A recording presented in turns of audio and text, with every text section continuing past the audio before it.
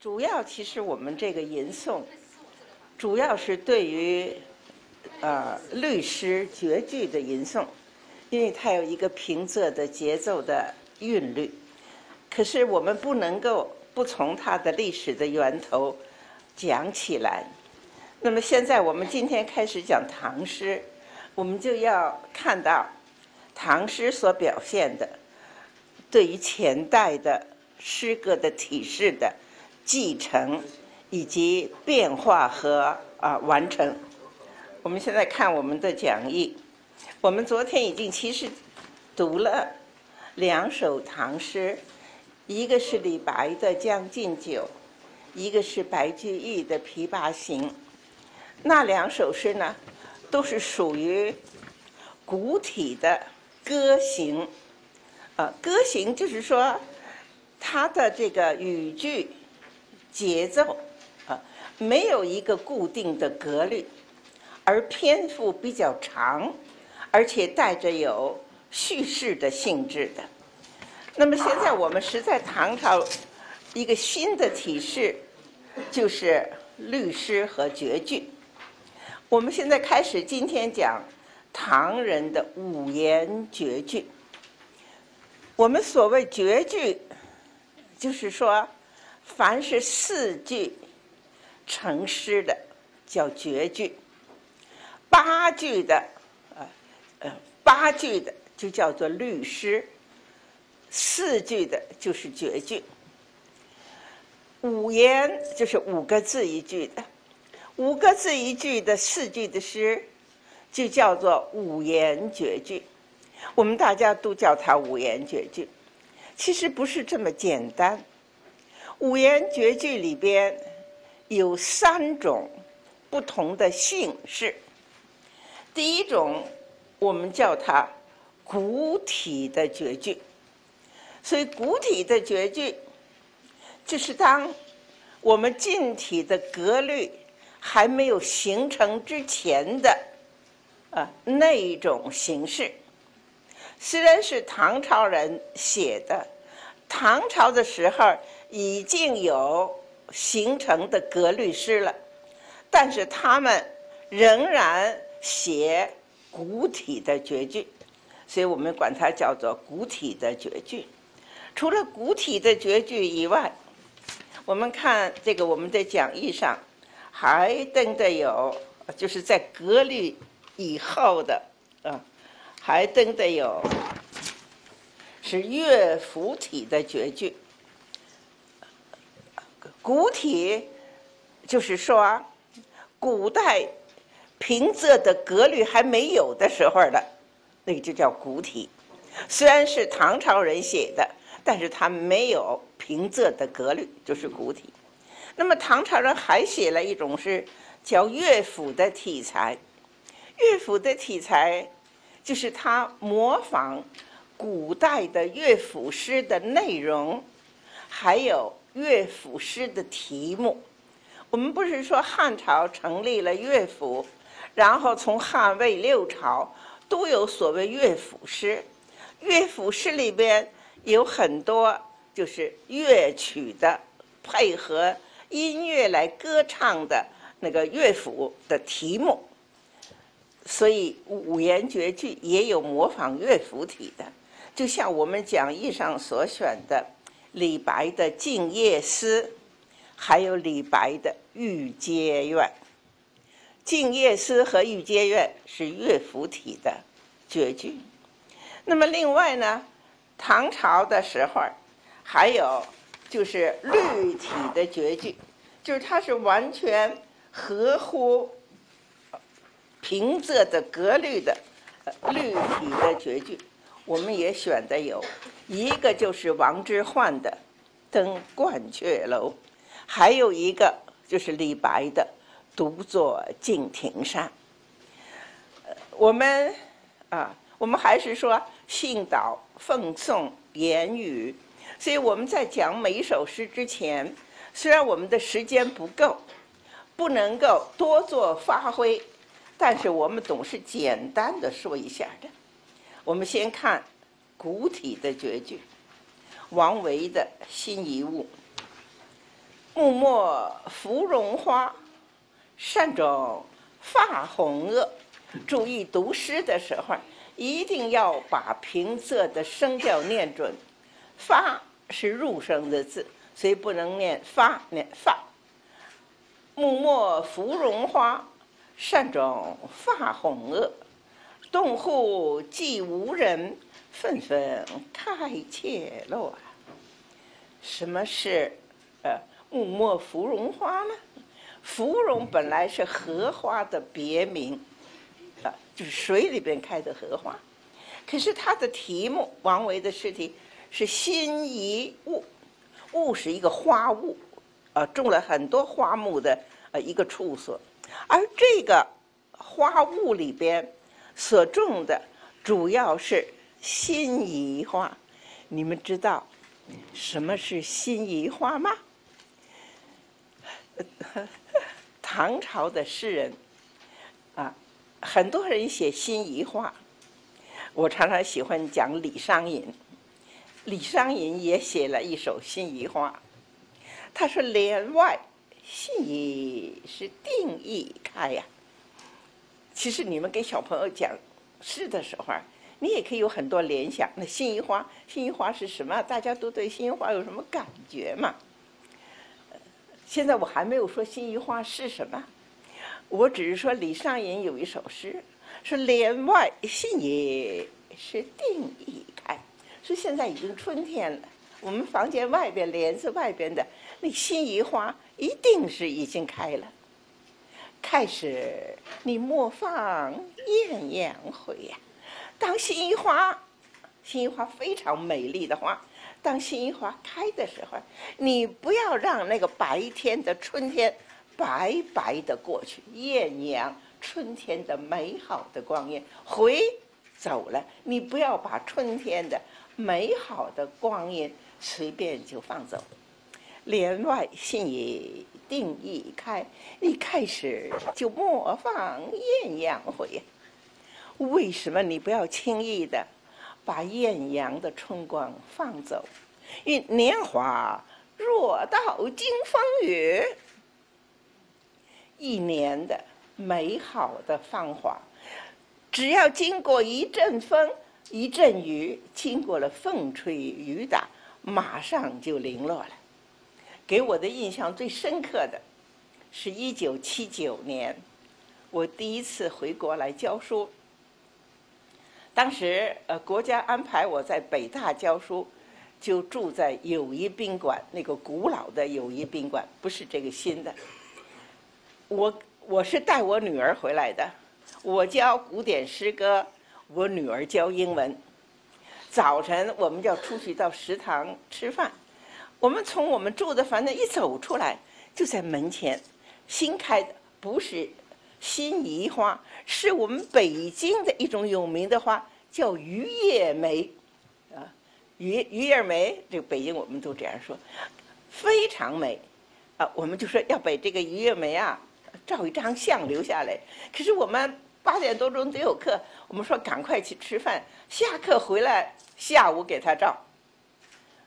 等到我们下完课回来，你知道我们北方的春天，那个黄沙啊，那种风啊，那就是春天的大风，飞土扬尘的风，都只是一个上午。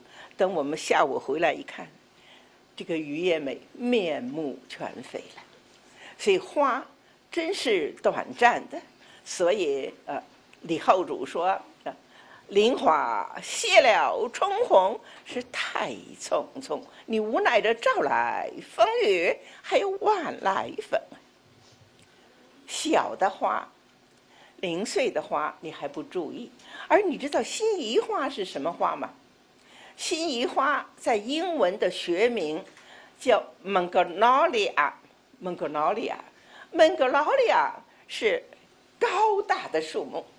你要知道，这个木兰的树干很粗很大，所以你看到我们的诗上说“木兰舟”，“木兰桨”是用木兰花的树干做的船身啊，做的船桨是高大的树木。一般说起来，高大的树木就是绿树，呃，不像矮的花丛，什么是菊花，什么开的遍地都是，是高大的树木，开了非常大的花朵，叫蒙格劳利亚，心仪。心仪有两种，一种是紫红色，非常漂亮；一种是白色的。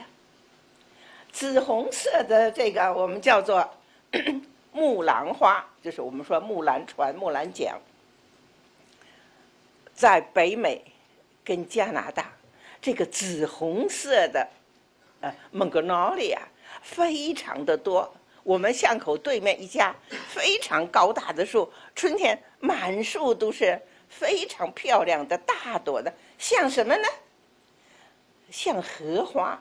这么大朵的花在高大的树上没有叶子，啊，所以是木末芙蓉花，是开在树梢上的，像芙蓉、像荷花一样美丽的花。木末芙蓉花，善种发红萼。王维晚年，他隐居在辋川，在陕西辋川蓝田有一个别墅。他布置了很多花草树木，有一个处所，那个处所种的都是这高大的紫红色的木兰花，所以他说啊，木末木末就是树梢上，芙蓉花善种发红萼，这么漂亮、这么美丽的花朵，开在一个寂寞的山屋之中。那是王维的私人的别墅，他来看见，但是他如果不来，那整天的这个花雾是寂寞没有人的。所以他说：“木末芙蓉花，山中发红萼，见户寂无人。”旁边也有流水的水涧，啊，户是这个山屋的洞口，这个啊水边啊洞口。没有一个人过来，见户寂无人，纷纷是开解了。那么茂盛的纷纷那么多的开了，没有一个人欣赏，就寂寞的凌乱。陆放翁也写过一首小词，啊，什么意外断桥边的，写那个梅花零落成泥。碾作尘是只有相如故，零落成灰；碾作尘只有相如故。这是写是花雾之中的山涧之中的寂寞的开，又寂寞的落下去的花朵。诗人，之所以为诗人，是说他有一种感发的这样的一种啊。灵动的心性，他与花鸟同忧乐，他与花草共荣枯。所以辛弃疾有两句词，说一松一竹，每一棵松树，每一根竹子，一生一竹是真朋友啊，都是我的朋友。山鸟山花是好弟兄。山上的一只鸟，呃，山鸟；山上的一朵花，都像我的弟兄一样。中国古代的圣人也说：“民无同胞，物无余也。”我对于宇宙是关怀的，我对于花草树木、禽鸟都是关怀的。人应该有人民爱物的这种心情，与大自然的生命有共忧乐的这种感情。啊不是说对大自然的生命漠不关心，眼睛里边只看到现实的利益的金钱，那人的灵魂心性就死去了。呃，其实小朋友也可以讲啊，这个花啊是树梢上的大的花朵，最好能够找到花的图像啊。我们温哥华真是到处都是。呃，花草各种的花草，呃，高大的树上的紫红色的木兰花是木末芙蓉花，善种发红萼，见户寂无人，那纷纷就开解落了。第二首是江雪，是柳宗元。柳宗元的祖先在政治上曾经受到过很多的挫折，可是柳宗元这个人啊，从年少的时候就是非常有才华的，所以大家都赞美说柳氏有子也。我这都不是随便乱说，这是韩退之给柳宗元写的墓志铭。韩愈、柳宗元好朋友，柳宗元很年轻就死了，所以韩退之给他写个墓志铭，说柳宗元本来生在一个美好的家庭，可是他的祖先因为在政治上得罪了当权的人，受到了挫折。受到了打击啊！那么直到柳宗元出现，少年科第，就是很年轻就考中了进士，文章啊真是辍立于风发，文章写得好，所以大家都说柳家真是有个好的后代了。可是唐朝的政治是非常复杂的，我们今天当然没有办法讲，唐朝的很多诗人。都牵涉到，啊，政治的这个是唐朝是外边有藩镇，就是军阀，军阀，朝廷里边是政党，外面是军阀，里面是政党啊，还有外族的侵略，所以唐朝几个皇帝都是被宦官杀死的。那些个诗人经历了这样的时代，在政党的斗争之中，所以柳宗元就得罪了，就获罪了，就贬官，贬得越远啊越远。所以柳宗元写了好多首诗，都是非常寂寞、非常悲苦的。他写了这首诗《江雪》，天上鸟飞绝，绝字是入声。所以我念倦，千山鸟飞绝，万径人踪灭。Miss 也是入声，它全是都是押的入声的韵。孤舟蓑笠翁，我独钓寒江雪。真是写的孤独，写的寂寞，写的寒冷啊！不用说，这么冷的天，人都不出来了。鸟都不飞了，千山鸟飞绝，山上看不到一只鸟飞了。万径的人踪灭，所有的人行的道路一个脚印都没有，没有人出来了。这么冷的天，鸟都不出来了，人当然也不出来。可是，在那寒冷的冻冰的江上，有一只小船，有一个渔人，是孤舟。蓑身上披着蓑衣，头上戴着斗笠，孤舟蓑笠翁，一个人在那里钓垂竿，钓什么呢？钓都是钓鱼呀。那现在这么冷的天，他不见得能钓上鱼来，所以他的钓竿是垂在那冰雪之中的。你人生，你追求，你追求得到什么？在千山鸟飞绝、万径人踪灭的环境之中，你在冰冻的江上，在雪面上垂钓，那种孤独、那种寂寞、那种寒冷，不只是一个现实的一个图画的景色，那是柳宗元的整个的心情。还有，请大家注意到，就是说，我们中国的语言文字。我们语言文字从很早，我们说从《易经》《周易》从《易经》开始，我们就有一个特色，什么特色呢？就是骈偶，骈是本来是两个马并行，偶就是一个对偶，就是有对偶的对句。除了中国的语文，全世界没有任何一国的语文可以有对偶的。它 spring，s p r i n g，六个字，啊，所以他说这个，比如说呃，你说这个呃，sky，呃，这是天空的空是两个音母，他很不容易把两个对起来。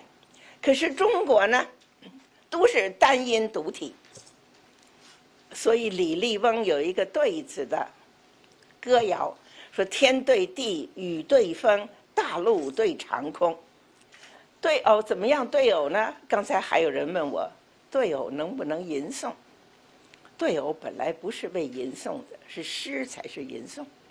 但是对偶有平仄，有对偶，所以你可以把它美读，你可以读得很美。我们我现在呃，我如果跑野马，我们今天肯定讲不完了。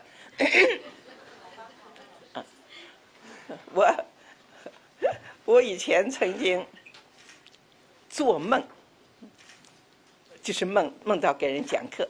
我这个人啊，从二十岁开始给人讲课，讲到现在九十岁呀，七十年没有停止过。你要知道，连寒暑假现在有张静在这里，我。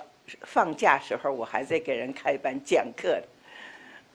我七十年可以说，从台湾、香港、大陆、美国、加加拿大啊，很多地方没有停止过，整整到现在是七十年，一直在教书，所以我做梦也梦见教书。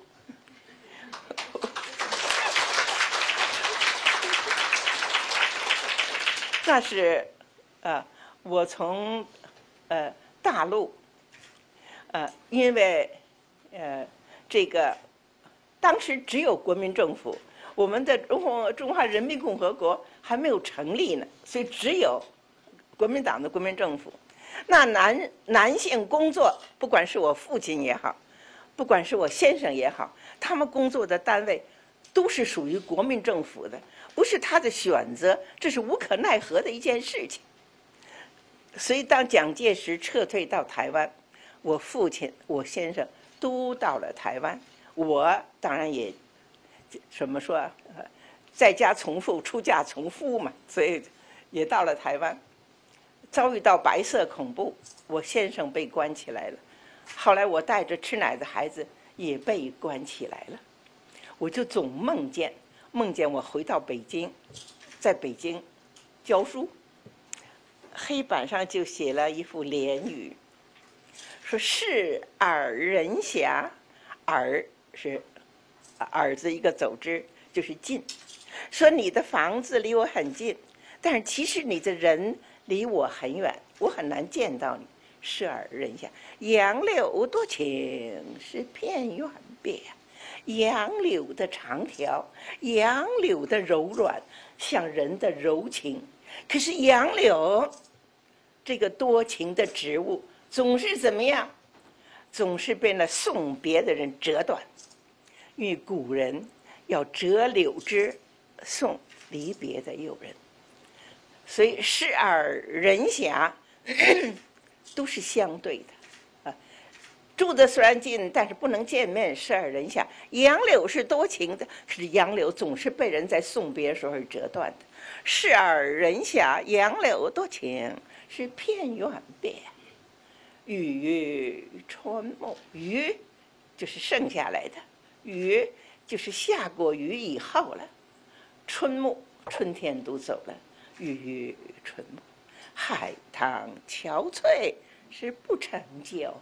那一树的海棠花都在风雨之中被打得残落了，是雨春暮，海棠憔悴不成就，是对偶。视而人遐，一个名词，一个形容词。嗯，下边呢是呃，雨于春暮，一个名词，一个形容词，对的。杨柳多情偏怨别，是海棠憔悴不成娇。花木对花木，啊，动词对动词，形容词对形容词，这就是联语，这是我们中国才有的，世界上任何民族、任何国家没有这样的文学体式，而这种文学体式非常的妙，它两两相对，有一个张力，有一个对比的张力，它的平仄有一个声调的高低的抑扬，这是我们中国语言文字的特美。世界上再也没有一个任何民族有我们这么美丽的声音铿铿锵的啊，这样高低的这样的对偶的句法，没有。所以，我们这种特色，从早古人就注意到了。从《周易》的时代，呃，《易经》呃，乾卦文言就说。云从龙，风从虎，啊，云是跟龙在一起的，风是跟虎在一起。老虎跳过来，武松打虎，带着风声就过来了；龙是乘着天上的云就过来。云从龙，风从虎，它是对句啊。说水流失，火就燥，水是往湿的地方流，火呢往干的地方烧。水是流失，火是久散，这是对偶啊。所以从《易经》啊，从《周易》开始，我们中国就有了对偶啊。对偶是比平仄更早形成的。我们还没有平仄的声调以前，我们很早就有了对偶了。所以，呃，现在我们所讲的是古体的诗，古体的绝句。当时还没有对偶，呃，就是说当时有对偶，但是柳宗元用的是古体，没有啊，没有平仄。这时候不讲平仄，可是他有对偶：千山鸟飞绝，万径人踪灭。千山树木字名词，万径形容词名词，鸟一个生物，鸟飞飞绝，人一个。名词人人走灭，而且不但是这个古体的绝句，就已经出现有这个对偶的情形。翻过来啊，我们的讲义，王之涣的最有名的一首诗《登鹳雀楼》：“白日依山尽，黄河。”入海流，欲穷千里目，更上一层楼啊！你要去讲这首诗，你要讲柳宗元“千山鸟飞绝，万径人踪灭”是什么样的感觉？是什么样的感情？他那种孤独，那种寂寞，那种寒冷。可是现在王之涣写的是什么呢？白日依山尽。黄河入海流，白是光明的、明亮的、光明的。那光明的白日，在西边的山头慢慢的沉落了。白日是依山尽，黄河就入海流，眼底的黄河奔腾到海，一直向东流去。你这两句是对句呀，白。是颜色，是白日，形容词名。黄河黄是颜色，是啊，黄是颜形容词。白日黄河，相对的那个是依山，这个是入海。那是依山沉没，这是入海的奔流。它是对句啊，呃，所以白日依山尽，那黄河入海流。而在对偶之间，就有一种张力，两两相对，就一种很强大的张力啊。所以这边西方太阳的沉没，东边是大水的奔流。不日依山尽，黄河入海流。欲穷千里目，更上一层楼。这两句依然是对句。千里目，我能够望到千里之远的远望，千里目，千里的远望。我要上什么一层楼？要，在更高的一点，我就看得更远更远了。所以千里目跟一层楼是对的。前面是动词，我欲穷，我想要穷尽，看到更远。所以更上上是动词，欲穷千里目，我要更上一层楼，啊，使得天地宇宙啊那种啊啊开阔啊那种广大，你西啊西下的斜阳，你不能挽回；东流的逝水。你也不能够挽回呀！你站在高处更上一层楼，看得白日依山尽，黄河入海流，欲穷千里。你更上一层楼，你的内心应该是什么样的悲慨？作者没有说出来，但是你只要跟小朋友把那种情景讲给他听，他会知道这种情境之中一个人应该内心。有什么样的悲哀和感慨？而且用对偶这么强大的张力，不日依山尽，黄河入海流，欲穷千里目，就更上一层楼啊！啊，而且不但是你视力的广远，而且是说你眼界的开阔。你要想看得更远，你就要上得更高！所以你如果把这些境界，把这些语言的美丽啊，它的张力一些作用都讲给小朋友听了，他就会非常喜欢，也非常感动。而如果你再能够配合一张图画的话，那就更美好了。我们现在还不是只说王之涣这一首诗，下边还有一首李白的《独坐敬亭山》。这已经都是律体的绝句了啊，所以它是有平平仄仄的。这个格律，等一下我们再看格律。李白的独坐敬亭山。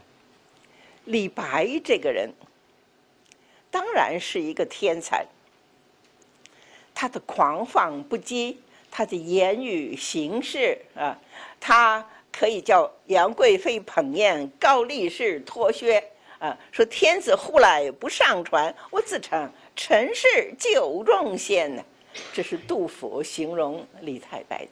李白是一个天才，所以非常的狂放。我安能摧眉折腰事权贵？所以我不干了，给了他高官厚禄，啊，免去他的科举考试。嗯，你们都要科考，呃，杜甫考了好几次还考不上，人家李白我不考啊，我不考，我有我的声名，皇帝请我去了。那相传记载上说啊，说是啊，就是唐玄宗，就是以七宝床，就是装饰的非常美丽的一个座椅，此时请他吃饭，御手。不是我们形容女子的呃白的手，就是皇帝的御驾亲征的那个御，皇帝亲手给他盛汤给他吃，这当然是笔记小说上的记载。不过当时啊，确实是呃非常宠幸李白的。唐玄宗带着杨贵妃啊去赏牡丹花的时候。说那些别人唱的歌曲，别人做的歌曲，都配不上贵妃，把李白给我叫来。李白写了《清平乐》三首：“云想衣裳花想容，那春风拂见露华浓。”得到唐玄宗这样的宠幸，可是李白说什么？我安能摧眉折腰事权贵？我怎么能够低下眉，弯着腰？啊！一天给你们这些个当权的人啊，供你们的驱使，卑躬屈节，使我不得开心颜，让我内心不高兴啊！所以，我辞职，我不干了。这是李白，我不经过科考，你把我请去了，你给我的高官，我现在不干了，我走了。唐玄宗也是一个很不错的皇帝，唐玄宗其实。非常欣赏李白的，所以请他吃饭，给他盛汤。你说不干了，没有没有责怪你。唐玄宗赐给他大量的财物珠宝，所以李李李太白不干。可是李太白不干了，李太白平生是寂寞的，而且他的天才，他的飞扬，他的想象，是别人不能够体会、不能够了解的。所以李白常常是孤独的，是寂寞的。所以他说，他后来啊，他辞去这些富贵荣华，一个人啊，孤独的、寂寞的啊，山居独坐敬亭山。他看到山，他说：“众鸟是高飞尽，山上有很多鸟，都远远的飞走了。众鸟高飞尽。”杜牧之曾经有一句诗，说：“长空淡淡孤鸟没，那万古消沉就向此中。”啊，你看到天尽头的鸟飞过去了，啊，我们人生的消逝也是这样的消逝。众鸟高飞尽，孤云独去闲呐。天上有一朵孤云，孤云的形象不是从李白。开始用的，是从陶渊明开始用的。陶渊明有一首咏贫士的诗，说：“万族皆有托，天下宇宙有千万亿万的各种的生物、动物、植物，万族是皆有托。”他们都有一个脱身的所在。我看那个新闻说，北极熊它在北极，它它在冰雪上啊。你看那个花啊，就是王维的新一物的新，它长在土地上。万族都有一个脱身的，你可以停下来，你可以休息，你可以依靠的地方。可是陶渊明说：“万族皆有孤云。”都无语，说的真的是好，没有没有任何的地方可以依托，可以陪伴，啊，可以脱身的，是什么？是天上一朵孤云呢，在上啊，没在宇宙的太空之中，旁边没有一个可以依靠的东西，所以陶渊明说：“万族。”皆有托，是孤云独无语，所以是孤云。所以李太白说：“众鸟是高飞尽，那孤云是独去闲。”而你如果联合、结合陶渊明的诗来体会李白的感情，那众鸟高飞尽，陶渊明说的。那些个鸟每天很快的飞来，飞出去，做什么？觅食，找食物，晚上飞回来了。所以众鸟谋生的，众鸟高飞尽。可是天上无依无靠的那个孤云，它是孤独的。李太白说，他虽然是孤独，可是他一个人悠闲、自由自在。这是李太白。我不跟你们在一起的，你们都追求那权力禄位，我有了权力禄位，我都不要了。啊，众鸟高飞尽，故云独去闲。可是没有人理解我李太白，因为李太白到底要干什么呢？所以杜甫曾经有一首赠李白的诗，啊。说众人世人皆欲杀，说无意度敛哉。大家都恨不得把李白给杀了，因为这人太狂妄了。可是杜甫说：“我真是欣赏。”而且李杜甫还说了李李白说：“飞扬跋扈是渭水雄。”他说：“你什么叫飞扬跋扈？飞扬像大鹏展翅在高空的飞扬。什么叫跋扈？像那个。”大洋之中，青鱼的尾巴这么一翻，那个护是大鱼的尾巴，青鱼的尾巴在大洋这么起来，这么一翻，你看到那个图吗？他说李白的为人就像大鹏在空中展翅的高飞，像青鱼在海中的把尾。你飞扬跋扈，是为谁雄？你这种呃雄才，你这种过人的这种才识才华，什么人欣赏你？什么什么真正能够认识你的？是众人皆欲上，他得罪了很多人，因为他也不能低眉垂腰，呃呃垂眉折腰事权贵啊，而且他也辞官不做了。杜甫说：“无意杜敛才。”我是欣赏你的，所以杜甫的诗里边写了十好几首，那对于李白的赞美啊、崇拜，众人皆欲上，吾以杜连哉。可是李白是寂寞的，因为他的天才，他要飞到天上的时候，没有人能跟他一起飞的；他要在海上拔尾，没有人有这种才能跟他一起在海上拔尾的。所以李太白说：“啊，众鸟高飞尽。”故曰杜去闲。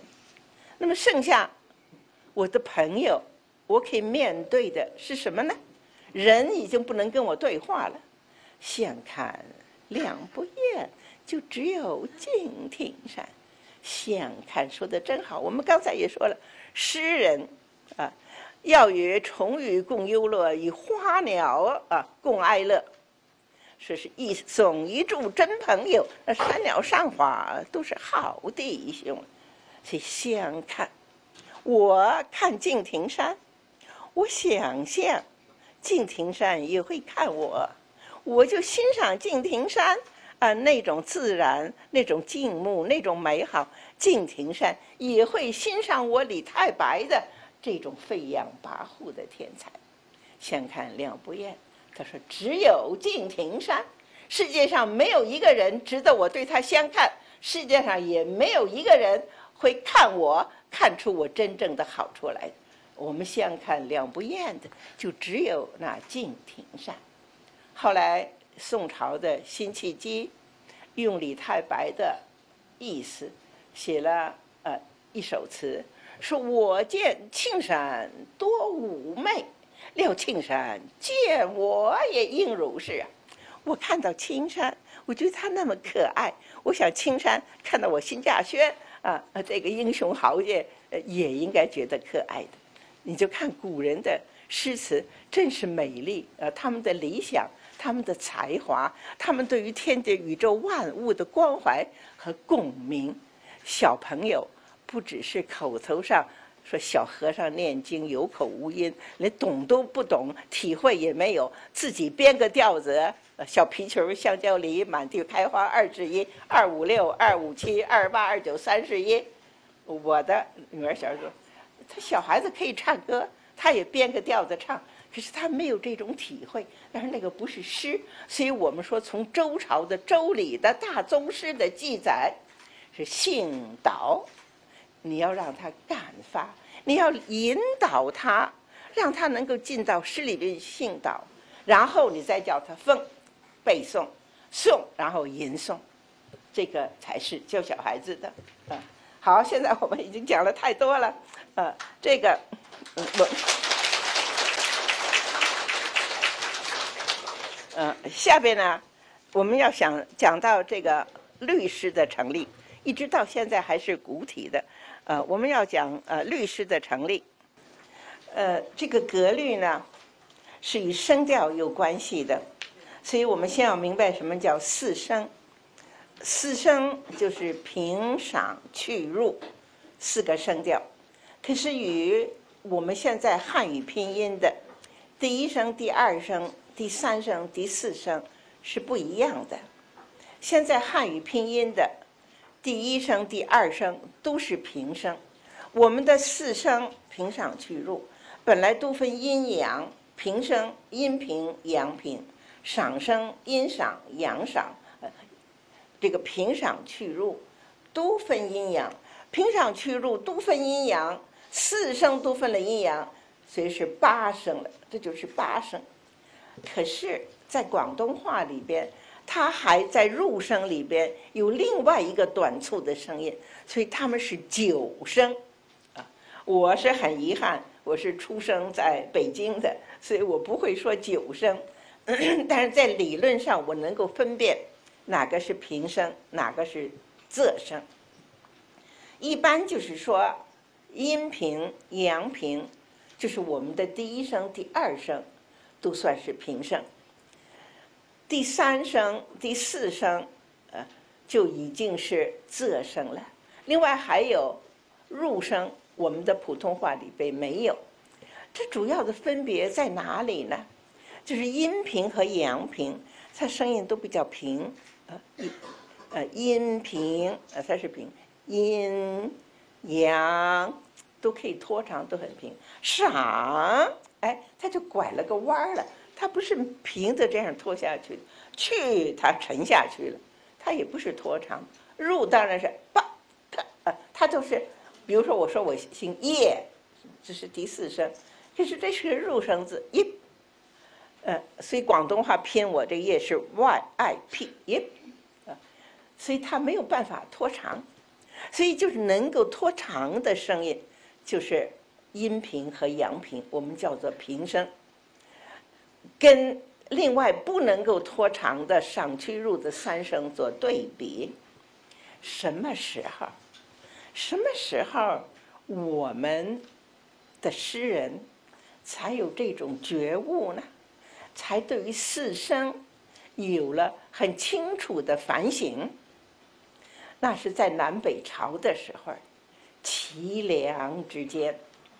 那中国人，呃，为什么在南北朝的时候就注意到这个平仄的声调了呢？当然，我们自己的语言文化发展到最后。你自己如果常常反省、反思，一个人如果盲目都不想就随便去做，他得不到什么结论，他找不到什么智慧，他没有什么升华。所以你要常常，你一边写作，你一边反省。那经历了这么长的一个时间，从周朝到南北朝了，他们就反省出来，我们中国的声调是有。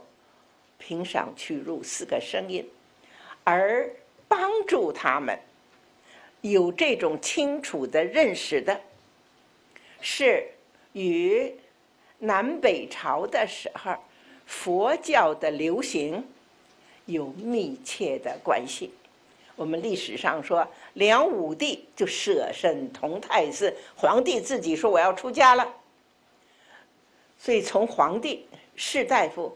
都是相信佛教的，所以杜牧之有一首诗说：“南朝四百八十寺啊，有就是盖了好几百所的庙宇啊，那个大家都信奉佛教，信奉佛教那是那个因为那个时候啊，也翻译进来了很多佛经，而佛经除了把梵文按照意思翻成中文以外。”佛经里面有很多戒语是念诵阿弥陀佛，这这它是念诵的，它是一种声音。所以他们在学佛经，不只是把它变成汉字的文法的意思的翻译，还要学他们的读音。我们说菩萨菩萨菩萨什么意思？是菩提萨埵，菩提萨埵简称啊，菩提萨埵是觉有情，是有情之人觉悟啊。你在这个世界里边，你有没有觉悟？你是不是只是盲目的，跟动物一样？除了这种本性的食色性也的谋生的欲望以外，你对于人类有过反思吗？有过超越的一种啊思思想和追寻吗？人之异于禽兽者几兮呀？就因为人有一种反省。有一种思考，有一种向高向上、超越凡俗的一种追寻。世界上之所以有这么多的宗教，就因为人类，万物之灵，那些动物是没有的，只有万物之灵的人类，对于人生的意义、价值有一个根本的思考。思考，你从何处来？你往何处去？李商隐说的“苦海迷途是去未因”，啊，你对于过去、未来，啊，对于超越的，你完全都不懂。所以佛经上呃呃讲很多这样的道理。当时中国的传统的读书人就觉得这个道理非常的超妙，就非常热心的来学习、来诵读佛经。这凡是一种特殊的语言，就是我们不同的语言。前几天汉教学院说要出版一本书，是我的呃论诗词的中文的稿子的英文翻译，就是中英，你可以啊对起来看的，有一种啊就是能够了解。佛经当年翻译也是如此啊，佛经你要把。这个范文翻成我们能懂、能够读懂的语言文法是一件事情，但是它有很多特殊的名词啊。他们翻译我的论诗词的文章，要把它翻成英文，说呃，说诗词，翻什么？说诗是 poetry，一翻就错了。中国的诗跟西方的 poetry。那个范畴观念是完全不一样的。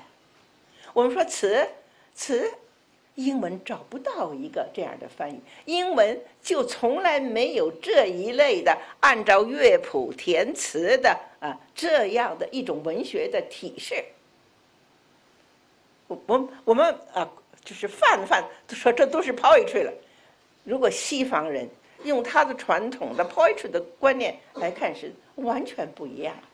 所以怎么样？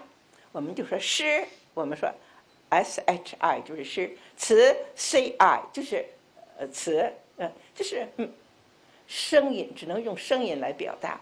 佛经里边也是有些个超妙的道理，而我们汉语言没有办法表达的，所以它是梵文的原文啊，菩提萨埵啊，什么什么摩诃萨之类的。那么有些个字翻译的时候。不知道怎么读音呢，所以我们说词你翻成 c i，诗翻成 s h i 啊。那么佛经也要翻译，说这个字这个意思没有恰当的意思，汉语里边没有这样的话，啊，儒家没有这样的思想，这是佛家的思想。那么什么？你要把它声音翻出来，声音怎么样？你是要知道这个梵文是怎么读啊？菩提萨埵，它是怎么读的？啊，你知道我的别号叫嘉陵，嘉陵的梵文是什么？卡拉宾卡，是嘉陵，是佛经里边的一种鸟的名字，这是传说如此啊。反正我是说，就翻译。我前天有一个人问我说：“听说你到美国的？”呃，这个加州的什么一个庙里边去讲过课，我说是的，我是去过的。呃，那是美国有一个万佛城，万佛城里边办的有法界大学。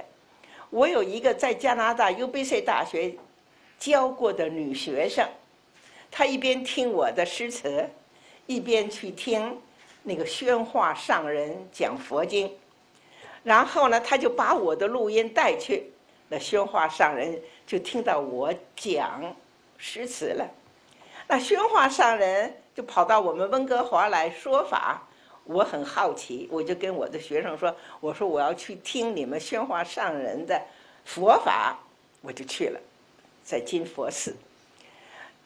因为他介绍我跟他的师傅见面，宣化上人在台上，我是听众在底下。”上来，这修和尚不肯讲。他说：“叶老师，你上来，你上来讲。”我说：“我说不成，我不懂佛法，我不能上来讲。”他说：“没有关系，你今天爱讲什么就讲什么。非叫我上去不，我他我不上去，他不开讲，所以我就上去了。我再上去，那我讲什么呢？我当时正在 UBC 大学。”呃，讲词的课，都是美女，都是爱情，都是相思。这这，我总还在庙里边，也不大好意思讲这样的课了。所以我就想想，我就讲了陶渊明说：“结庐在人境而无车马喧。”因为他的庙是建在 China Town 外边，这个这是闹市啊，这个车马往来的，他闹中取静。所以我就讲了这个佛经，讲了佛经。这温哥华讲了还不算，这一年我讲了陶渊明的一首诗。揭露在人境，是陶渊明饮酒诗边的饮酒诗里边的一首。饮酒诗有二十首。那师傅就说了，他说叶老师，你讲的非常好，讲的不错，这个对我们修行的人呢也有用处。你以后每个周末来讲一次，反正我都是义务，谁让我讲就讲。那我说好吧，我就每个周末给他们讲一次陶渊明的诗。讲到第十六七首的时候。我说我现在下个礼拜不能来了，因为我当时每放暑假就回到中国来讲课，所以大家都笑我真是爱讲课，到处讲。那我就跟他们说，我说对不起啊，我说我下个礼拜要去中国，不能来讲课，我就走了。那时候我请请了一年的休假，UBC 大学可以，你拿百分之六十的薪水啊，你。出去做研究，休假一年，我就走了。过了这一年，等我再回到温哥华，我那个女学生不在 UBC 大学了，削发维尼剃度了。事隔八九年以后，我这个削发的维尼的女弟子啊，又回到温哥华来了。这这，她说：“叶老师啊，你当年讲陶渊明饮酒二十首，你只讲了十七首。”还有三首没有讲呢，来跟我算账。他说：“我们现在啊，师傅说了，要请你到美国加州的万佛城的法界大学去讲。”所以昨天那个人问我：“你在庙里讲过？”我在庙里是讲过的。庙里讲的怎么样呢？他们每天早晨就有早课，大家都念诵啊，念诵，有的是翻译的我们的。啊，中文你可以懂，有的就是你明白吗？就是念诵的经经义。但是他们念诵的是什么呢？是佛经里边的最庄严的、最大的一个部头，是《华严经》。每天天还没亮，我这人好奇嘛，我就跑到他们大殿上，都是蒲团，你坐在那里，有人敲木鱼，有人敲磬，然后就唱诵，非常好听的声音。是这个《华严经》，我就把《华严经》打开。你你们有机会去看一看《华严经》。《华严经》一开头的第一页是是拼音，《华严经》的一翻篇的第一页是拼音，告诉你这些字怎么念。我现在是要讲中国对于四声平仄的觉悟与。南北朝的佛教的流行有密切的关系，所以这些文人，呃，文人也有很多喜欢读一读佛法的，像苏东坡跟一些僧人的往来之类的，所以就有四生八病，就有平上去入。这个八病呢，他说的啊，听起来很复杂，什么平头上尾了，其实现在当我们。把这个律师的格律固定下来以后，这平头上尾，什么凤腰鹤气，都不成问题了。先说什么叫平头，是第五个字，跟啊这个第六个字不能一样，一样了就是平头。你好，现在我们就来看格式，五言的基本的格式，所以你不要觉得词诗的格律很复杂，你只记一个 A 式，一个 B 式。A 式平平平仄仄，仄仄仄平平，两句都是两句的，格律是两两相对的。平平平仄仄仄仄仄平平，头两个字是平声，这个叫做平起，由平声开始。这边还有一个 B B 式，是仄仄平平仄平平仄仄平，它用两个仄声开始，就是这么两个基本的格式，你就记住平平平仄仄仄仄仄平平，从两个平声开始。仄仄平平仄平平仄仄平，从两个仄声开始，所有的一切诗的变化，就是这两个格式的反复的运用。所以把 A 式跟 B 式，加起来，，A 式平平平仄仄仄仄仄平平，加上 B 式仄仄平平仄平平仄仄平，四句，这就一首。五言绝句，律体的五言绝句。如果是八句呢，你就多重复一次，后边就是 A 式跟 B 式组合起来，平平平仄仄仄仄仄平平，仄仄平平仄平平仄仄平，四句这是绝句。啊，那么七言的呢，就多两个字，怎么怎么多起来呢？就是五言的开头如果是平平。你就加上仄仄，五言的开头如果是仄仄，你就加上平平，所以后边七言的格式就是平平仄仄仄平平，嗯，平平，呃，仄仄平平仄仄仄平平仄仄平，呃，仄仄平平平仄仄平平仄仄仄平平，都是重复的。所以，所以为什么你吟诗，你不要弄什么？稀奇古怪的调子，这种你认为很无聊的、很单调的、循环往复，这就是我们中国诗歌的基本的格式，它就是这么循环往复的。好，现在这个格式你们大家去看是很死板的，但是中间可以有变化。比如说第一个字是不重要的，第三个字。也是不重要的，为什么不重要呢？因为你在读诵的音节是平平仄仄平平仄平平，这是一个停顿，停顿的时候，这个声调是重要的。平平仄仄，第四个字停顿，停顿的时候是重要的。所以第一个字不重要，第三个字不重要，因为它不在停顿的地方，这是很基本的原理和原则。可是当然也有变化，我们看一个有变化的 五言律诗啊。我们现在看呃李白的一首《夜泊牛渚怀古》。我们刚才讲李白的“独坐敬亭山”，已经介绍过了。李白是平生，他真的是高才，他真的是有理想啊！他总是想着能够，他只要一出山就能够治国平天下了。可是李太白是个。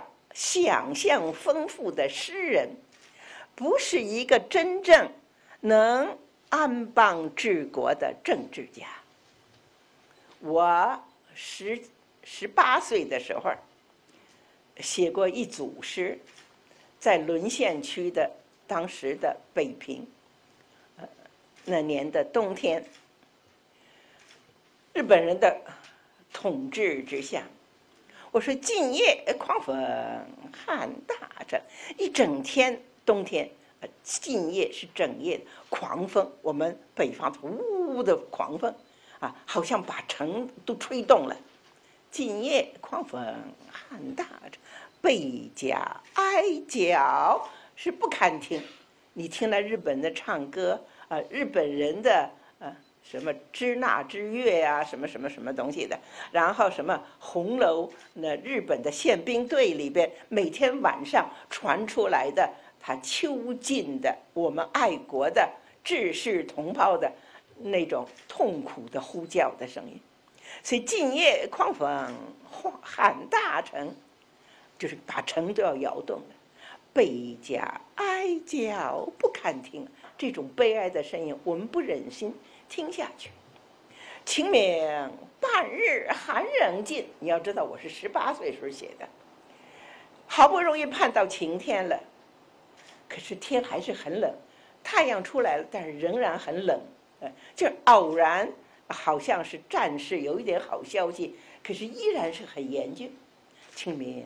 半日寒冷的，可是尽管外边冰雪满天地，我在我的房间里边，我们那时候还没有电灯，有一盏油灯，啊，我们冬天那么冷，屋子里边生一个火炉，是清明半日寒冷尽，我灯火甚小，是夜有情。我有一个炉火，我有一个灯火。在深更半夜，虽然外边寒冷，但是我内心之中仍然有一点光明，有一点期待，有一种盼望。所以灯火甚小，夜夜无情。我后面说了，入世一片愁似海。你这辈子预备怎么样过下去呢？你预备只求私人的享受，还是你有一个理想要去追求？如果你想做一些事情，不管是做什么，你既然要工作，你就会有困难，而且做得好，做得不好，你就会有责备。因为旁边说冷话的人多，啊，旁边说俏皮话的人多，真正卖力气去干事的人，反而受到人的冷激热愤的。呃我当然还没有，我那会儿还是学生，但是我知道社会是如此的。你除非不想工作，入世一品愁四海，你要拼出去，要负担一切的哀愁。入世一品愁四海，逃禅也不借印为名。逃禅就是你学佛教的禅宗，内心的禅定，不为外物的得失所左右。有很多人就说我自己是独善其身。我说我一方面有入世一片愁似海，但是我内心完全不被外物所左右，所以我可以穿着补丁的衣服去上课。所以逃禅不戒，隐为名。我不需要去隐居，我既然入世，啊，就是逃禅不戒，隐为名。我是说，现在说回来，我是从李白说的。李白不明白这一点，他入世不能够啊愁品愁似海，他也不能够逃禅不借印为名。他一生一直有用世之心，可是你要用世的时候，你就不得不在世法之中，你就要委曲求全，才能够完成你自己。你自己完全不委曲求全，你一定是挫折，这是必然如此的。所以，一切有心要干一些事情的人，但如果只是你谋自己私人的私利，那不在此内。你只是为了你私人的名利，你是为了大众、为了公益去做些事情，你就不要害怕，别人有时候会批评你的。入世一片愁似海，我逃禅也不介意为名啊。可是李太白不能，李太白是个天才，他只能飞出去，不能降下来。真正了不起的人，是我有能飞的能力，但是我要降下来，交给别人怎么样飞起来呀？不是我飞上来就算了。但是李太白是飞上去不能下来的人，所以李太白一直有他的孤独。有他的寂寞，有他的不得意，他的天才不被人赏识的悲哀。李太白的诗里边都是如此的。我们现在还不是讲李太白的人，我们是讲李太白的这首五言律诗的变体。我说的变体，就是跟正体不完全一样。正体平平平仄仄仄仄仄平平仄仄平平仄平平仄仄平。变体就是中间以拗，拗就是不通顺了，有扭曲，有拗。李白的这首《夜泊牛渚怀古》，中间就有拗，我们看一下。牛渚西江夜，青天无片月，写的真的是好。他坐一只船，经过了牛渚。牛渚在安徽当涂附近的一个地名，牛渚。这个地方有一条江水，就叫做西江，有东江、西江，就是西江。当他坐着船，经过了牛渚的西江的一天晚上夜晚，他走在床头，向天上一望，牛渚西江夜，那青天。无片云，一片湛蓝的天空啊，一一一轮圆圆的明月，连一丝白云都没有。我在温哥华到一个朋友家，站在小桥上，看到东方的月升。新闻报纸上说说今天的月亮是最大最圆的月亮，我们就跟朋友。到他家里去，因为他家里有一个小桥啊，有一条流水，看到流水的尽头，那个月亮升上来，又大又圆的月亮。所以牛渚西江夜，那青天无片云，就登舟望秋月。我就到这个船头上，站在床上登舟，我就仰望天上的这一轮秋天的明月。我就想起谁，登舟望秋月，我空忆谢将军。我就怀念一个谢将军。一，我就怀念起一个谢将军。谢将军是谁呢？我还要跟这位老师说，教小朋友不要怕有典故。每个典故者都是一个故事，你只要老师把那些故事都找到，你给小朋友讲是典故越多越有意思，一个一个的小故事。这谢将军是一个小故事。谢将军是晋朝的时候的一个将军，名字叫谢尚，呃，就是尚书的呃，崇尚的那个尚字。这个谢将军呢，他不只是带兵作战的将军，他也会作诗，也会写文章，而且喜欢吟诵。你要知道，中国古人都讲究吟诵的。那一天，这位谢将军就是坐着船，也就是在牛渚，就在这条江水上。这谢将军呢，就听见旁边有一个。小船上啊，有一个人在吟诗，啊，他也许念的是陶渊明吧，说是说是啊，万族皆有托，孤云独无依啊，我不知道他念什么，也许念的是屈原帝高阳之苗裔兮，正还告曰伯庸，也许念的是他自己的诗。这个诗人是谁呢？这个人诗人叫袁尚，啊，这不是这个谢将军叫谢尚，这个人叫袁弘。就是袁世凯的袁，宏大的宏，啊，袁弘，袁弘是会作诗的人，那据说是他自己做了一些个咏史的诗，啊，像我说我那首诗写的是北京的沦陷区，我是写我当时的感受，我不是专门写沦陷，你可以专门写沦陷的经过，一首咏史的诗，袁尚。正在吟他自己做的咏史的诗，吟诵啊，我们说，比如说啊，就是我们说，呃，呃，像李白的这首诗，我们也等一下吟诵。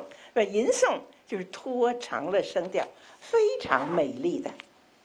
你要知道，这吟诵的声音有很多故事。这个原上啊，就因为他吟诵啊，哎呀，吟的调子非常好听。这旁边船上的谢将军听到他吟，说什么人？这诗做的这么好，吟也吟的这么好，就马上请求跟他见面。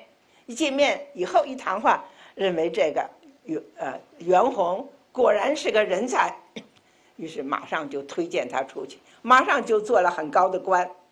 这李白就说呀。我也会作诗啊，我的吟诗说不定不比这个袁弘还好听呢。那我今天也走在这里，就是袁弘碰见谢将军谢尚的时候，那我今天在这里吟诗，哎，怎么没有一个谢尚谢将军来请我出去做官呢？这是李太白的想法。所以他说：“邓州望秋月，我就空忆谢将军。余也能高咏，你看这个口气，我也能够大声的吟诵啊。可是世人不可闻。可惜那个人是晋朝的人，我是唐朝人，他已经不可能听见我吟诗了。那我李太白，走在这个地方，这个地方是有才华、会吟诗的人。”得到人欣赏的一个历史的地方啊！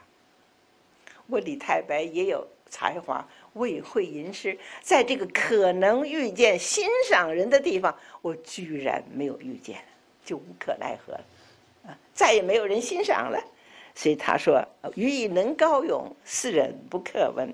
明朝挂帆兮，明天我就把船帆张开，我就要走了，离开了这个牛渚。”就离开这个遇见欣赏我的人的可能性的地方，那个时候，我后边的路程，江水的两岸，所有的美丽的枫叶都纷纷的飘落了。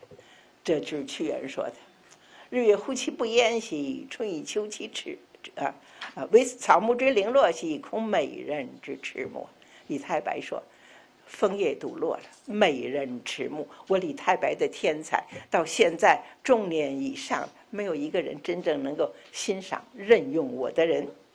好，我们现在不是只不只讲这首诗，呃，讲这些故事，我们是要讲它的格律。牛渚西江夜，是平仄平平仄，本来是仄仄平平仄，第一声不重要。青天无片云，是平平平仄平，本来是平仄平平仄，应该是平平仄仄平，可是无片云，无是平声，第三个字，第三个字不是音节的停顿，所以它应该是仄声，它用了平声没有关系，因为这个不是一个节奏的停顿，后边两句。登舟望秋月，空忆谢将军。按照律诗，这两句应该是对句：天对地，雨对风，大陆对长空。呃，像刚才我们讲“白日依山尽，那黄河入海流”，我欲穷千里目，就更上一层楼，两两相对。什么叫对句？名词对名词，动词对动词，颜色对颜色啊。平声要对仄声，仄声要对平声，就是词性相同。你是名词、动词、虚字，词性相同，平仄要相反。李太白这里应该是对句，他完全完全不对嘛？你看这个李白，对，如果学生做一首诗，我说你这不合格律啊，这两句应该对句，你没对嘛？登舟，一个动词，一个名词。登舟，空意，哎，这是一个副词，一个动词，这个不对，完全不对，这就是很妙了。所以，就是有一种死板的法则，有天才的人可以在法则之中变化。骑自行车，两脚踏着凳子，两手把着车把。骑车骑得好的，两手也放松，两脚也放松了。你只要不跌下来，你保持了平衡，你有这种能力，你就成功了。李太白就是，手把也不把了，脚踏也不蹬了，可是他没有跌下来。他掌握的是重点的平衡，而不是表面的平衡。怎么样，重点的平衡？登舟望秋月，空忆谢将军。登舟望月，嗯，一个动作，一个一个 object，一个手势。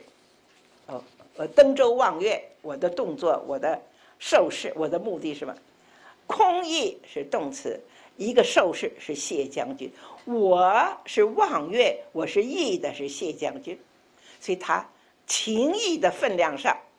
有一个 balance，字句上没有 balance，可是他的情义上是 balanced。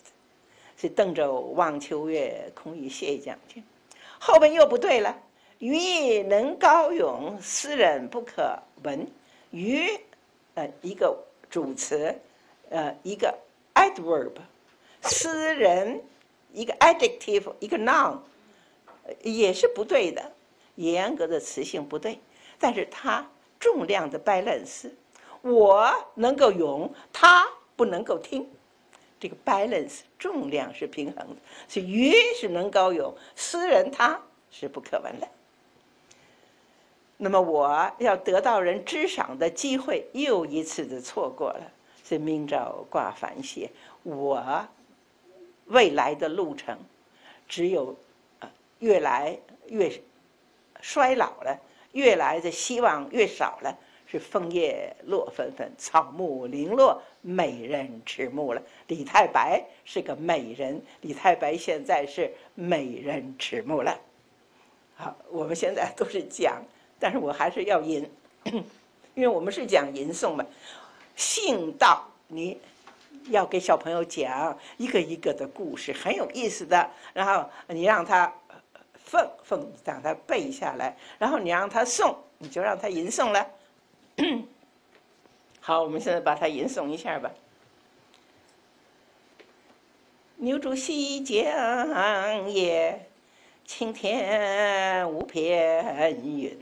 我登舟望秋月，就空忆谢将军。欲能高咏，他斯人不可闻。明朝好挂帆鞋。枫叶落纷纷，我还可以加衬字。我我把他那个不平衡的句子用一个我，一个他啊。我说，我是余意能高咏，他斯人不可闻。我把我跟他，这是我加进去的。是你在吟诵的时候觉得加上这个字更能把他的情意表达出来，所以吟诵。它有一个巡回的节奏，但是它并不是死板的。你可以拖长一点，缩短一点，你还可以加上，把你自己的感觉更密切的结合起来。假想你就是李白了，我是余意能高咏，他自然不可闻了嘛。啊，好，我们现在呃时间也是不多，我们还要看一看后边的啊。讲完了，这是五言律诗。的一个例证，李白后边本来有杜甫的三首《喜大行在所》，本来我们看到风花雪月啊，容易对起来。说天对地，雨对风，容易对起来；白日依山尽，黄河入海流，容易对起来。可是李，可是杜甫的诗。李太白是把国力放开，不严格的遵守，可是他分量上是有一个 balance 的。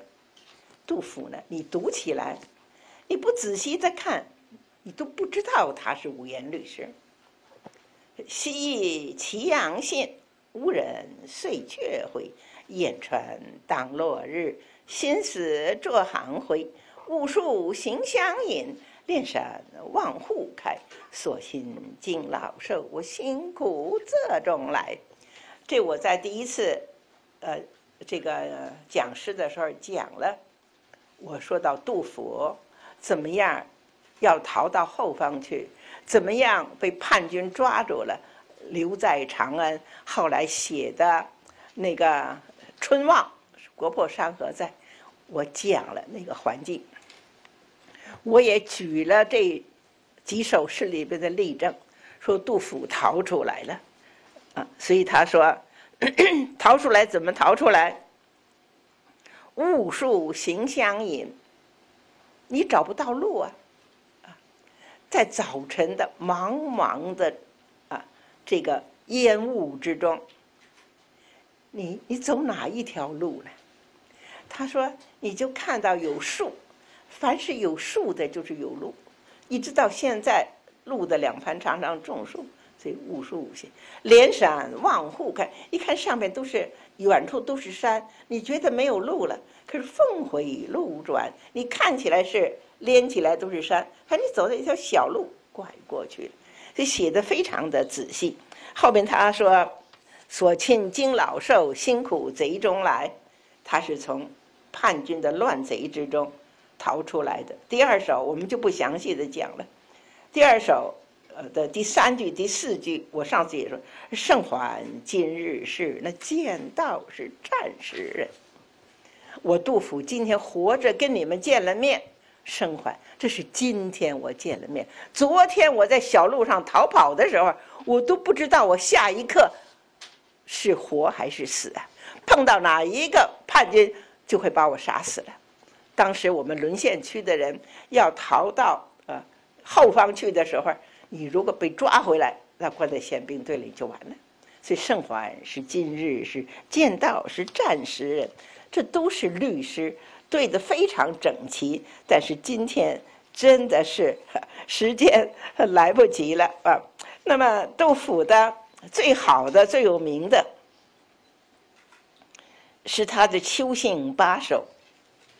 我们说一首诗啊，“众鸟高飞尽，孤云独去闲。相看两不厌，是唯有敬亭山。”这是他李太白的眼前的。啊感性心发感动，一首诗写完了。可是杜甫不是啊，杜甫他内心的感动太丰富了，太复杂了，一首诗写不完。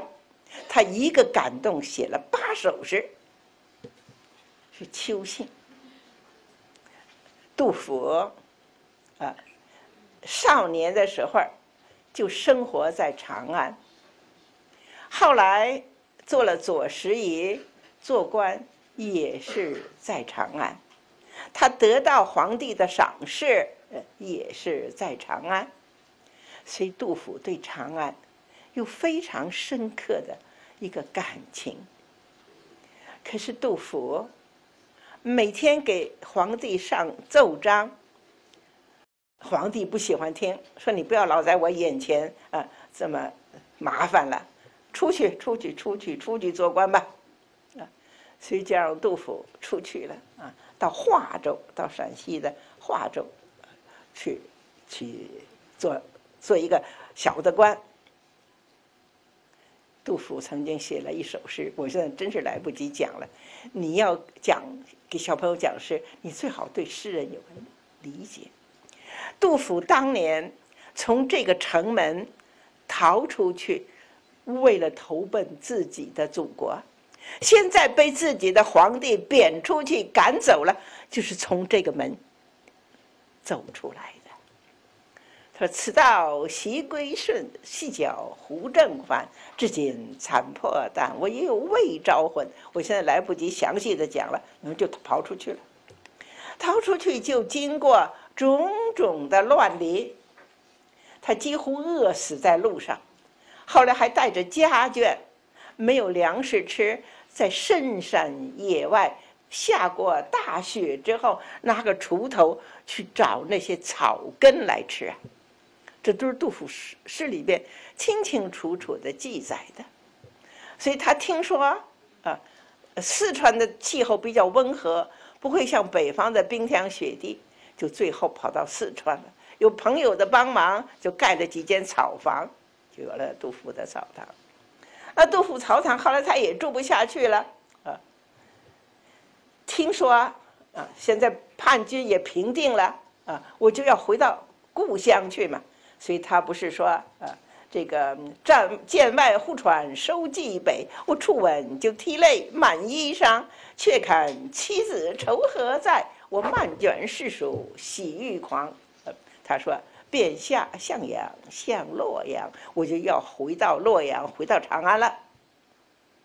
所以他就坐了船，顺江而下，从四川呢就顺着长江，他希望啊从长江，然后到下游啊，然后从下游再转啊，然后再回到北方。可是他上了船以后。在夔府夔州，就一连停留了很多年，也没有旅费啊，也没有衣服啊，到处都是兵乱，就留置在这里了。他就写了《秋兴八首》，就是在四川的夔州。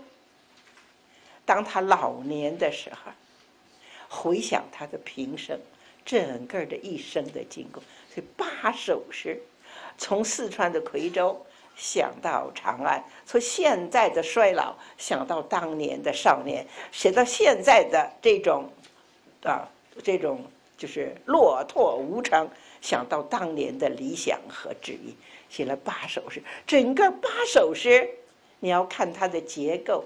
看它的章法，我现在没有时间给大家讲，但是我写过一本这么厚的书，《杜甫秋兴八首集说》，那真是太复杂了，也太美妙了啊！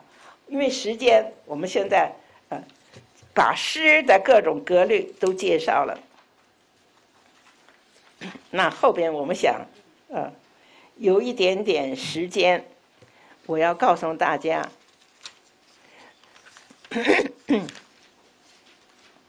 还有，我们还有，还有所谓排律，所以后面还有一首排律。所以律诗本来就是八句，啊，正统的律诗的格律是八句就是律诗。可是有所谓排律，排律就是八句以上的，都是两句相对，两句相对的排成一排的叫排律。我们选了一首排律。是李商隐的细细。李商隐也是一个很有才华的人，而且非常有理想的一个人。他说：“啊，我是勇毅江湖归薄发，欲毁天地才入片者。我不是一个贪图功利禄位的人，我永远怀念的是在江湖上隐居的快乐。”可是我不是现在就去隐居，是我当我该尽的力量已经尽了，该做的事情已经完成了，我白发就归隐到江湖，勇毅江湖归薄发。什么时候归白发？欲毁天地，我把天地都挽回了，把唐朝的宦官的专权啊、藩镇的跋扈啊、那些个不上轨道的那些败坏都挽回了。那时候，我就坐一只小船，到江湖上去了。他完成了自己的理想吗？当然没有。他一生就是在幕府之中给人做秘书，就是耍笔杆子，写的不是我的感情，写的不是我的理想，是长官。长官说让你写篇什么文章，你就写篇文章，把李商隐的啊那种啊美好的才华。都用在给长官写文章的应酬文字上面那李商隐呃，后来晚年最后，在在四川呃，在在一个幕府之中，也是做书记的这些个职务。这个城外有一条水，就叫做西溪，西溪是一条水，因为李商隐。一生都是在各地的幕府之中做幕僚，给人家写文章，不能够带家眷。妻子儿女都留在长安他岳父家里了，而他的妻子死了，剩下这两个小孩子没有人照顾，所以他写了《西溪》这首诗。他说：“怅望西溪水，我怅远是奈尔何呀？望，是我看见了这条溪水；潺远，是我听见了这条溪水哗哗哗哗的流去的声音我满怀的惆怅，望着东逝不还的流水，听到潺远的水声。”的怅望西溪水，怅远我奈尔何？你这种潺远像哭泣的声音，东流不返的这种悲哀，我真是无可奈何。我面对你，想到我这种消逝的光阴的东流不返之无可挽回，所以真是无可奈何。我对你无可奈何，对我也无可奈何呀。所以怅望西溪水，那怅远奈尔何？那这西溪两边的风景什么样呢？他说：“不讲春雾少，是只觉夕阳多了。已经春天慢慢的过去了，春天的景物稀少了，花也零落了。他说这个不是使我惊心的，不讲春雾少。我所悲哀的是只觉夕阳的树上一片都是斜阳，还不是说。”不经春雾少，是说我这一辈子从来没有过那繁华的美好的日子，我还不为这个悲哀。我悲哀的是我来日无多，只觉夕阳短。所以我不经春雾少，是只觉夕阳短。春雾只是外界的零落，夕阳是生命的消失。所以不经春雾少，只觉夕阳多。似染腰少柳。光寒窈窕落，那个斜日的光辉啊，照在窈窕啊，窈窕是深幽的、茂盛的罗，那山上爬的很多的爬满的藤萝之类的植物，色染幽少柳，所以光寒窈窕罗啊，就是写这个光影的闪动，夕阳黄昏之中的光影的闪动。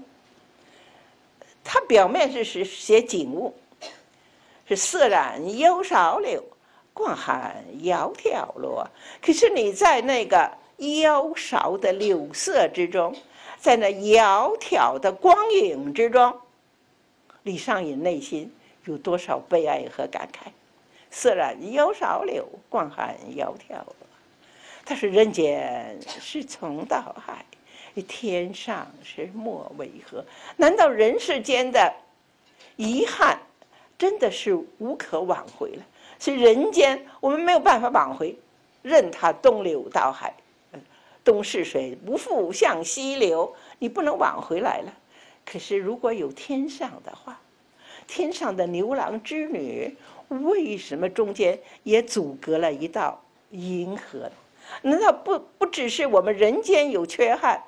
天上也有遗憾嘛，所以人间从大海，离天上莫为何？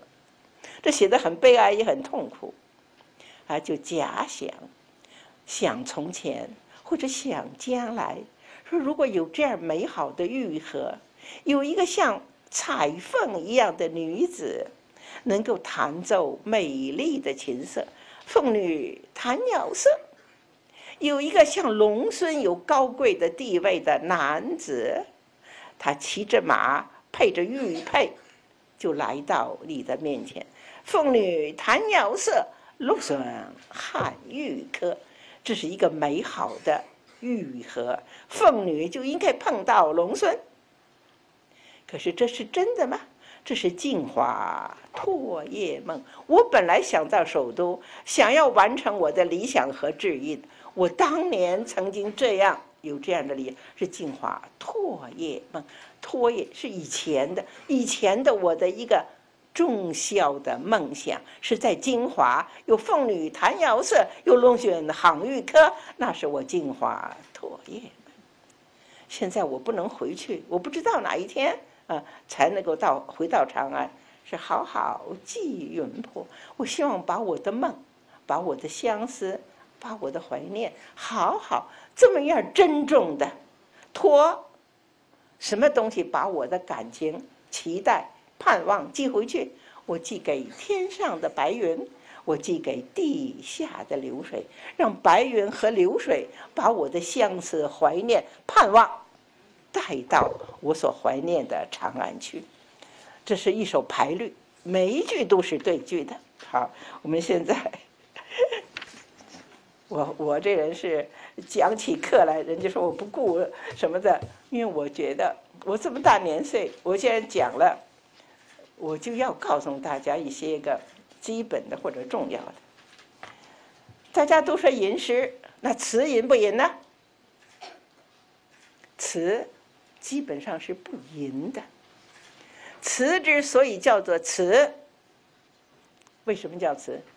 词就是 word，就是。词，语词词，song words，就是配合音乐来歌唱的歌词，所以叫词。词之所以叫词，是 song words，是配合音乐歌唱的歌词，所以它不是吟的，它是唱的。所以你从来不听人说吟词，但是词呢，有一些个句子，它的平仄格律是跟诗句比较接近的。所以我们也可以大体上用吟诗的调子，简单的吟一下。那现在一直到现在，讲了多少诗人，也吟了多少首诗，没有一个女作家呀，那是无可奈何的。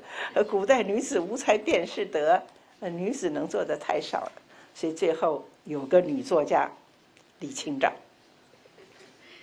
我们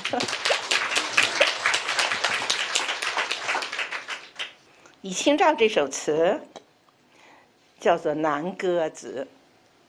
我不知道你们读李清照的词，还有读李清照的传记，你们也没有产生一个疑问？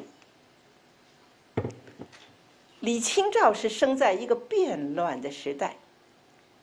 他身经靖康之变，从北方的老家山东逃难流域，到了的后来的南宋的首府杭州，只把杭州做汴州。而且在逃难的路程上，她的丈夫死了，她所有故乡保存的那些个，啊。书记了，文物了，一切都失落了，国破家亡。你要知道，经过北宋到南宋的变乱，多少词人写了激昂慷慨的词句。李清照在诗里边也写了。啊生当作豪杰，死亦为鬼雄。至今思项羽，我不肯过江东啊！木兰横戈好女子，我老矣不复至千里。你看，李清照写的诗，啊，感慨奋发，跟男子不相上下。可是，在李清照的词里边，没有一句正面。写到战乱的，一句也没有。为什么？因为李商隐的不是李商隐了，因为李清照的观念里边有一点观念，就是词是歌词之词，是歌宴酒席之间给那些歌妓酒女。去唱的歌词，啊，那个悲歌慷慨的是诗里边才能写的，所以宋朝相传，李清照写了一篇词论，啊，他说词是别诗一家，是另外一种作风，跟诗是不一样的。他说像苏东坡一样的那样的人，苏东坡写《大江东去》。他说：“那是句斗不济之诗耳，那只是长短句的诗。所以苏东坡写的那是诗，那已经不是词了。词不能这样写。所以他身经了变乱流离、国破家亡，词里边没有一句正面写的。这因为这是他的观念，他以为那些个东西不能写到词里面去。可是他有没有？”这战乱流离的悲哀了，他当然是有的了。他不正面写，所以就有一个很微妙的小词。这也是从来讲李清照词的人没有像我这样讲过的。他们都只从表面上来讲，说天上星河转，人间帘幕垂。秋天上，秋天那银河掉角了，星河的方位不一样。天上星河转，那天上的星河转位，气候就冷了，所以人间帘幕垂，人间就垂下很厚的帘幕了。两声沉淀泪痕子。秋天很冷了，所以我的席子上啊就觉得很寒冷啊。我晚上孤独的睡眠，两声针点，我就流下泪来了。这七姐落叶聊问夜何尽？一个人孤独的失眠，就这夜怎么这么长呢？怎么天还不亮呢？所以我就问夜何鸡，现在几点钟？怎么天还不亮？然后我就穿起衣服来了，是翠帖莲蓬小，呃，尽晓藕叶新。你看外边的荷叶，呃，那个荷荷叶都落在水面上了，呃，莲蓬结了小小的莲蓬，呃，今宵我们说秋天，我们说呃。金木水火土，呃，秋天五行是金，是金风，秋风是金风，金风吹起来了，那荷叶都凋零了，今宵藕叶静。可是这两句，表面上是写天气，其实是写衣服。随翠帖莲蓬晓，今宵藕叶稀，既是外边的季节景物，也是李清照穿的衣服。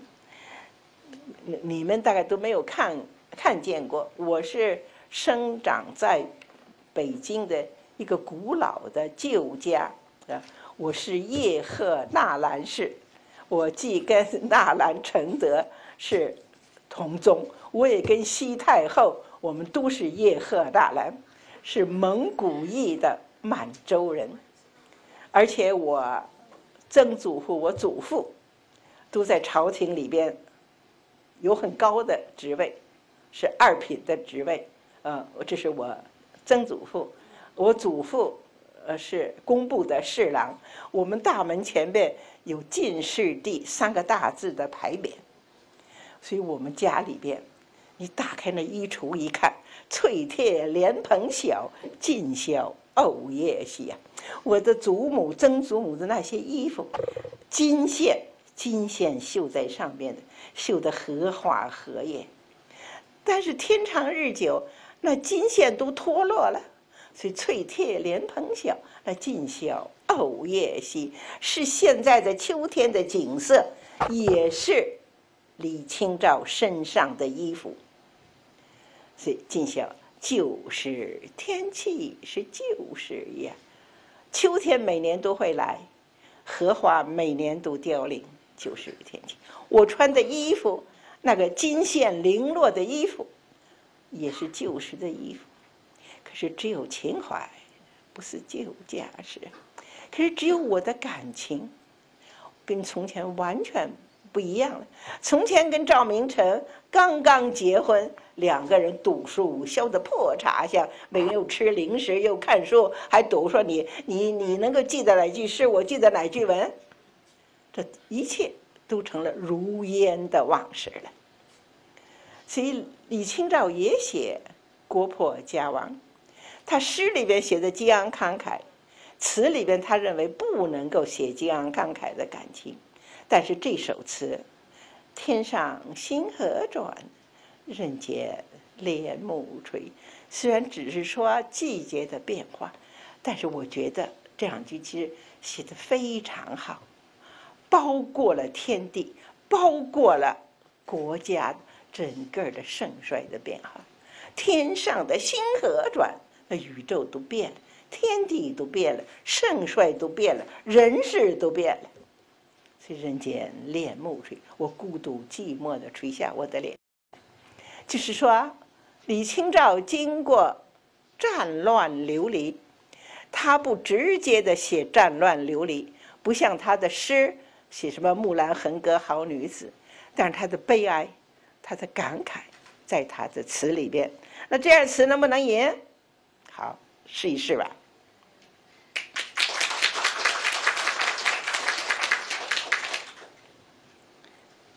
天上星河转，人间帘幕垂呀。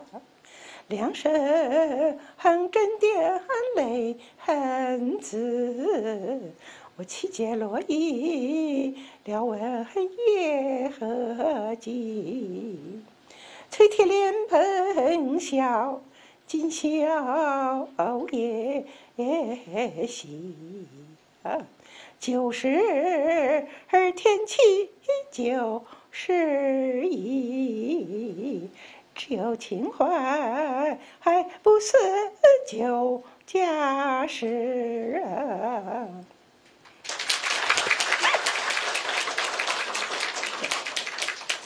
还有长调的押仄声韵的词不容易吟，呃，因为。平声比较容易拖长，压了很多仄声字不容易拖长，就不容易吟。不容易吟的词，你要在读的时候，把它的感情读出来。我们读一首词不吟，读周邦彦的《兰陵王》。现在真是来不及讲，你们只能看我的论词讲稿去了。咏柳，周邦彦。柳阴枝，这是个入声字。眼里丝丝弄碧，水滴上曾见几番。覆水飘面送行色，登临望故国。谁是金花镌刻？长亭路，年去岁来，应折如条过千尺。闲寻旧踪迹，有旧尘哀轩。灯照离隙，梨花渔火催寒食。愁见风快，傍好破乱。回头挑地变树意，望人在天报。凄侧恨对镜，见别铺荣回。静候岑寂，斜阳冉冉春无际。念月斜携手，路桥闻笛。沉思前世，似梦里泪暗滴。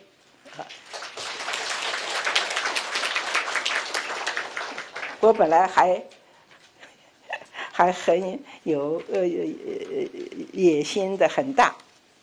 就是说，诗诗词都读了，所以散文、古文一样可以读。所以我还有一篇苏东坡的《赤壁赋》。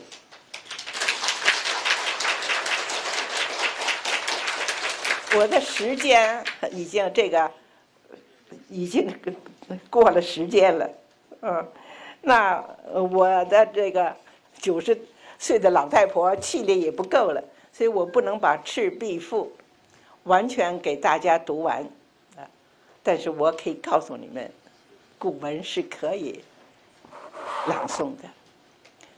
壬戌之秋啊，七月既往，苏子与客泛舟于赤壁之下，清风徐来，水波不兴。举酒祝客，诵明月之时，歌窈窕之章。少言月出于东山之上，徘徊于斗牛之间。薄路横江，水光接天。总以为之所如，令万顷之茫然。浩浩乎如，凭虚与风，而不知其所至。飘飘乎，一时独立，羽化而登仙。于是饮酒乐甚，口悬而歌之，歌曰：归朝兮兰江，击空明兮所流光。渺渺兮予怀望，美人兮天一方。可有吹洞箫者？一歌而和之，其声呜呜然，如怨如慕，如泣如诉，余音袅袅，不绝如缕。吾有何之千娇？其孤舟之嫠妇啊！素子悄然正襟危坐，而闻可曰：“何为其然也？”可曰：“ 好，我们就念到这里吧，太长了。